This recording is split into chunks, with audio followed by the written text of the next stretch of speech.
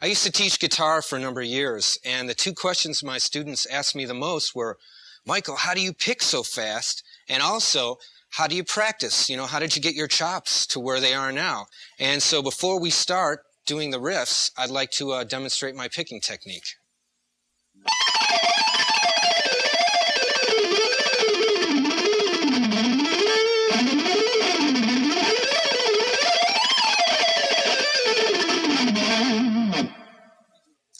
When I used to get a um, student for the first time and it was his first lesson, I used to ask him the very first thing when he walked in, and because I had a lot of hot young guitar players that wanted to take lessons from me, I'd go, Well, impress me, blow me away. I want to see your best riffs. And usually, guitar players have their one or two intimidation riffs that they've practiced for hours, and then after that, it's all over. They've blown their wad. And what I used to do is, after I heard those couple, then I'd ask them again. I'd go, Well, now I want you to play as fast as you can, but I don't want to hear anything that you've done before.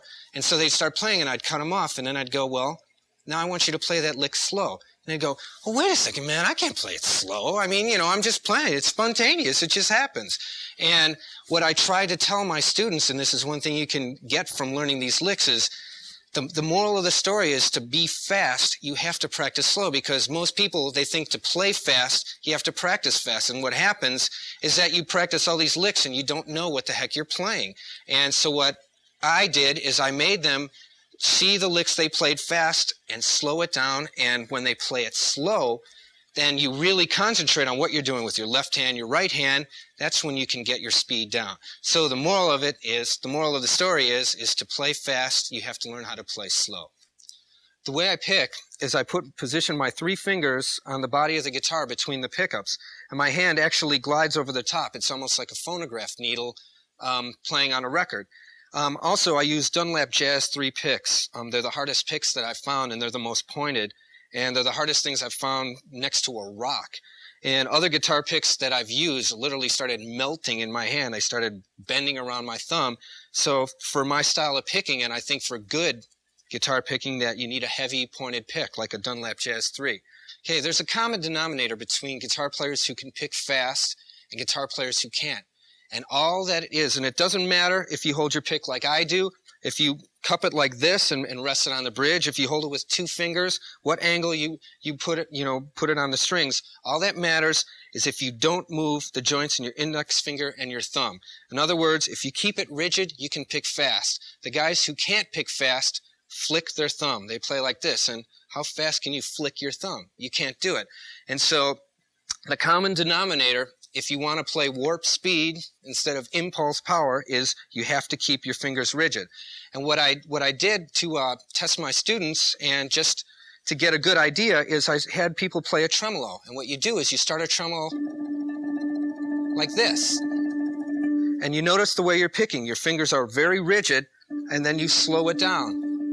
And now what most people tend to do is when they're playing fast and they slow it down, they change their picking style. And that's when they get into this.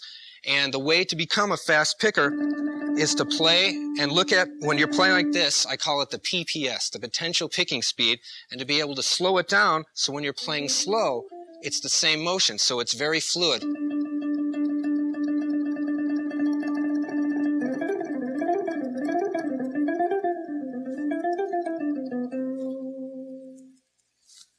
Before we start the first exercise, let's tune up. I tune to A440 and I'll start on the first string E and work my way down. This is E, B, G, D,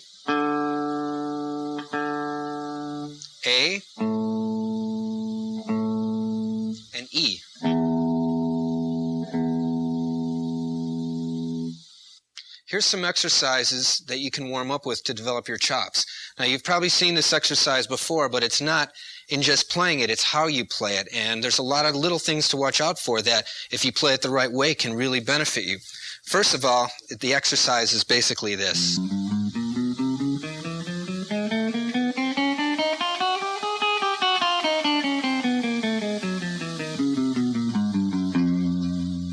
Now, if you'll notice, what I do with my left hand, and this is good left-handed technique, is you keep your thumb behind the neck and perpendicular to the guitar. And you make sure that this area here, that there's a little daylight.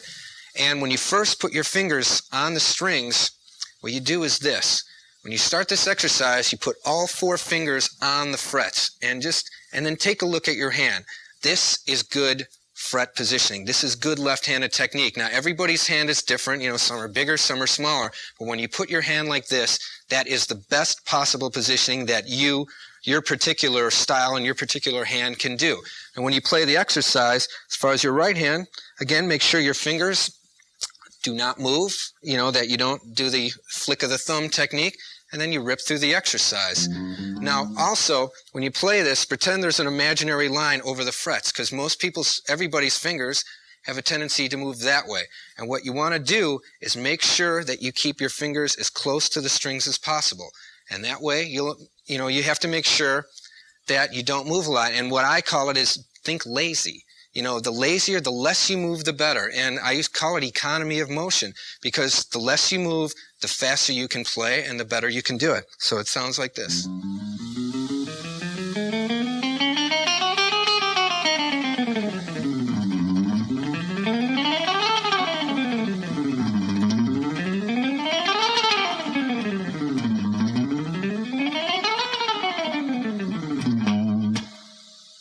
This is exercise number two, and it's an exercise in triads, and it's also got a lot of parts where you have to pick one note on each string, and it sounds like this. And here it is slowed down.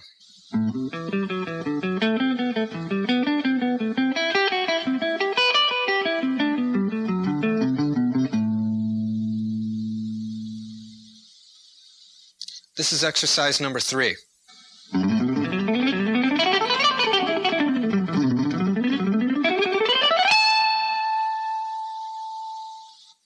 Okay, this is a Dorian um, mode exercise. This is an A Dorian. Um, when you when you have four finger positionings, um, you can only get five positions on a guitar. So what this does, it's a good exercise for your left hand in that you're changing positions in your right hand and that you have to keep up with it. And so let me play it slow for you, and it sounds like this.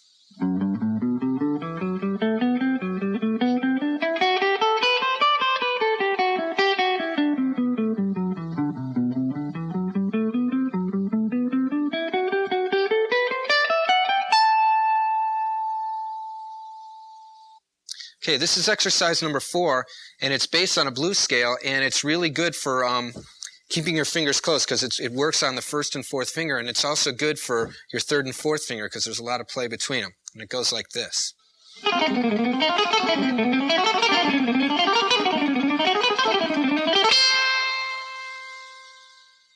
And this is exercise four slow.